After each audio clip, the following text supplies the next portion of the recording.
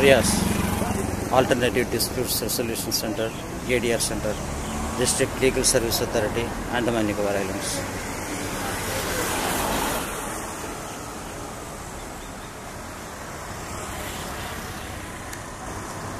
Access to justice for all.